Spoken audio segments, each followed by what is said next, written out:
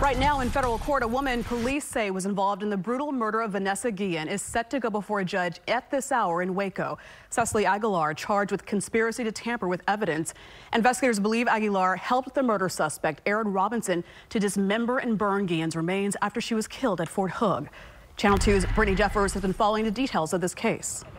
Now she joins us live with the push by Vanessa's family and the community to make sure there's justice. Brittany?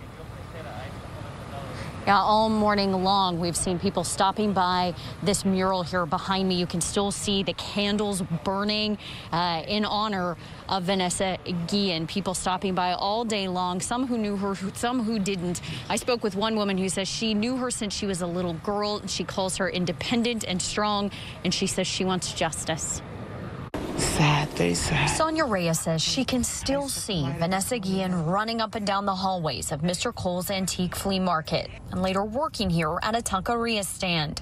She was like very determined.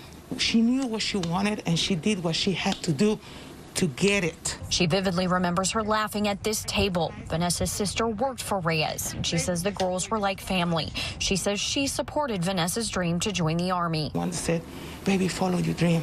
You have what it takes. Go and if you want to serve your country, serve your country. When she disappeared in April, she helped hang these posters in the hallway that Vanessa once filled with joy.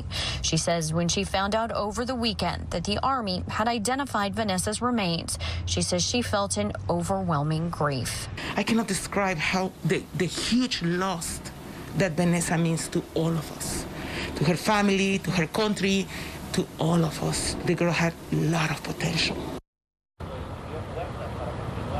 So again, that alleged accomplice will be in federal court later this morning. Live here in Southeast Houston, I'm Brittany Jeffers, KPRC, Channel 2 News.